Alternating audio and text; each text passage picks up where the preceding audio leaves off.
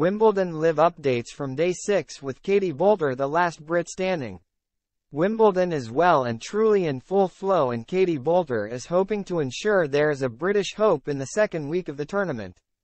However, the 26-year-old has a tough task on her hands against defending champion Elena Rybakina in the final match on center court. Top seed Carlos Alcaraz will open proceedings on the main stage just as he did on Friday, with a tie against world number 28 Nicholas Jarry.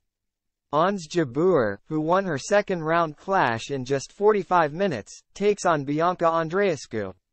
The pick of the matches on court 1 is Alexander Zverev versus Matteo Berrettini, with Stefanos Tsitsipas, who ended Andy Murray's run, playing not before 1 p.m. on court 2.